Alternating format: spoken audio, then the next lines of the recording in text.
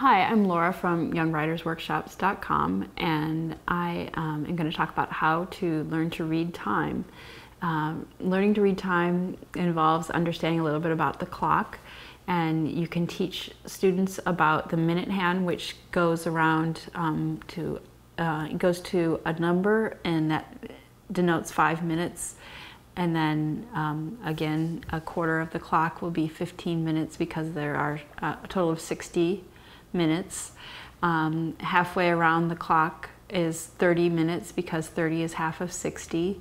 Uh, three quarters of the way around the clock is 45 minutes and so on. So what, when students learn that each number is designates five minutes and then that they can divide the clock up into fractions, it will help them to understand um, the idea of half past or quarter past.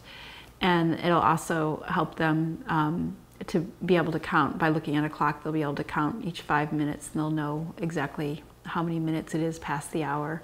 Um, at the same time you want to talk about that the hour hand moves from one number to the next to tell the hour of the day.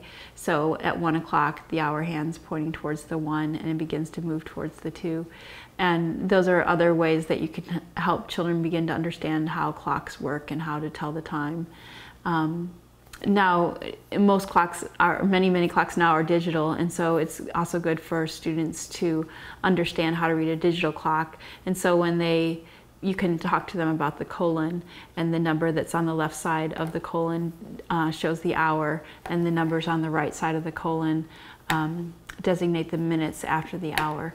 And so they can learn to read a digital clock as well by knowing how to say um, the time, for example, 2.31, by looking at the clock um, and seeing that there's a 2 in the, uh, to the left of the col uh, colon and uh, 31 to the right of the colon. So you can teach them how to say the time based on reading the clock. And um, those are some ideas about how to learn to read a clock.